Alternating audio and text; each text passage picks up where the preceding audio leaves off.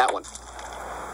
Oh, really? Because I wasn't even sure I should have put that one out. Oh, you always do this. You ask me for my opinion and then you ignore it. Besides, it's just a tie. Just a tie? Neckwear can make a very important first impression. Hey, you wouldn't understand. Oh, I wouldn't understand.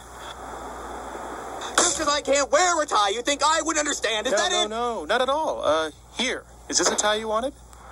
That's the one. That's the babe magnet. It's kind of, uh, big. Proportions, Johnson. Proportions. It's attitude that makes the monster.